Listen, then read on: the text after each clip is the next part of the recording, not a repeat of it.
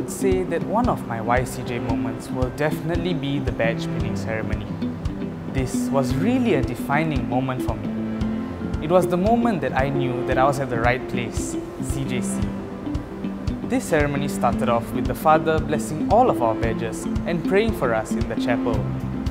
After which, our J2 seniors brought these badges to our classes for us and it was topped off with our badge being pinned onto our collars by our very own teachers.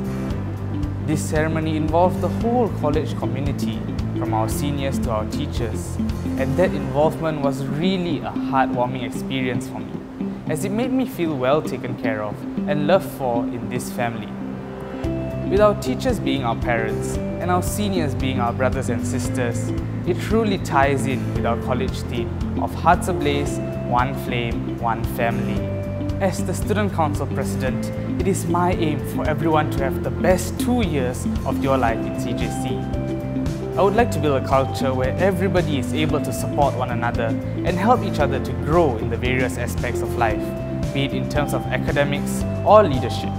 In life, there are some of us that will be stronger than others in either aspect, and that is very natural.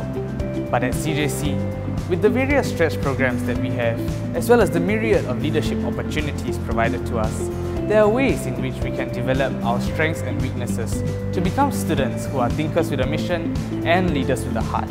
In your first year in CJC, you can look forward to various events planned by the Student Council as well as the houses.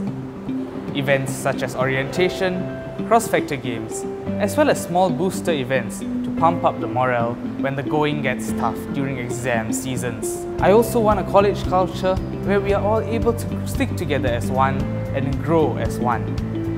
Despite the various setbacks that we may face due to the current COVID-19 situation, it is my hope that we will be able to innovate and come up with ways to still have an enjoyable and memorable experience here. It is up to you to make the difference that you want to see for yourself and discover what you want to do in life. And CJC is indeed the place where you will be able to do just that with the help from your caring seniors and teachers. We look forward to seeing you at Orientation 2022.